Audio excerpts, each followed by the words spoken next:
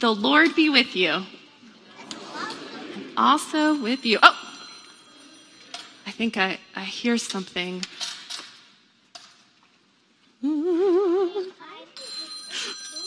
Oh, oh, excuse me. I'm sorry. I'm getting a phone call. This is so embarrassing. I'm really sorry. Oh, oh, okay, okay.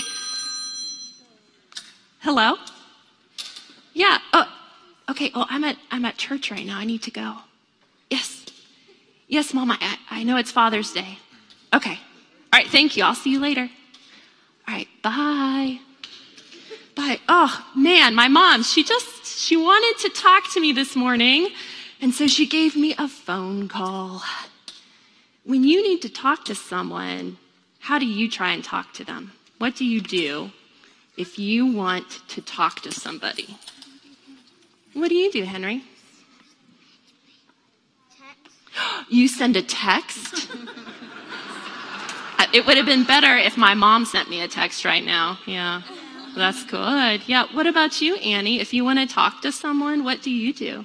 Um, my mom does great things for me. Your mom does great things for you? I love that. I love you. How else? How do we talk? If we if we want to communicate with someone, what do you do? What about you, Addie? FaceTime. FaceTime. Mm-hmm. That's pretty good. And what about you, Clementine? What do you do if you want to talk to somebody? Um, I say excuse me. You say, excuse me? Yeah, that's right. Yeah, how about you, May? May Wheaton, what do you think? Write a letter. Write a letter. That's a great way. There are so many different ways that we can communicate. Can you communicate with your face and not even using any words? If I look at you like this, what am I trying to communicate?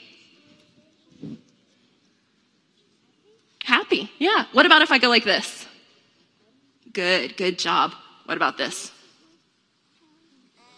Angry. That's right. There are so many different ways that we can communicate.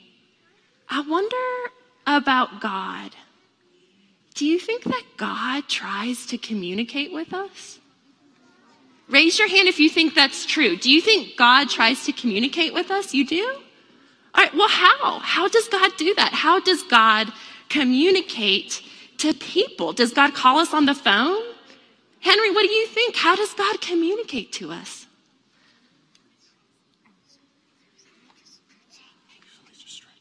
Yeah, oh, okay. What do you think?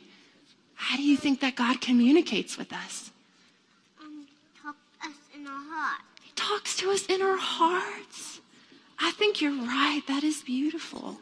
What do you think? How does God communicate with us? Nice. By being nice. Yeah. What do you think, Annie?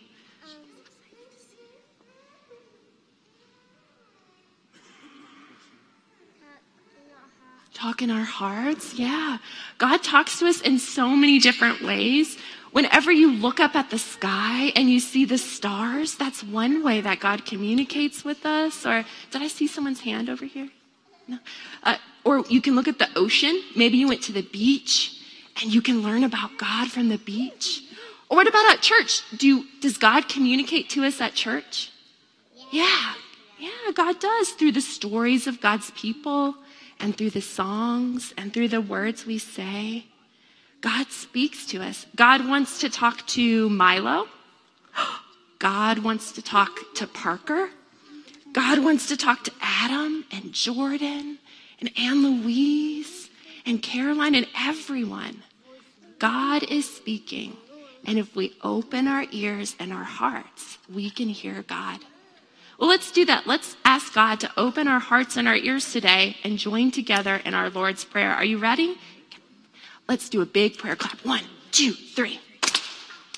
Our Father, who art in heaven, hallowed be thy name. Thy kingdom come, thy will be done, on earth as it is in heaven. Give us this day our daily bread, and forgive us our debts as we forgive our debtors. And lead us not into temptation, but deliver us from evil. For thine is the kingdom, and the power, and the glory forever. Amen. Amen. All right, friends.